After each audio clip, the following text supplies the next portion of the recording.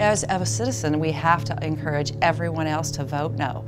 This is a simple, simple issue. It's against everything that we should stand for as taxpayers, as parents, as educators, and really just as citizens. We don't need a constitutional amendment to fix schools that are struggling.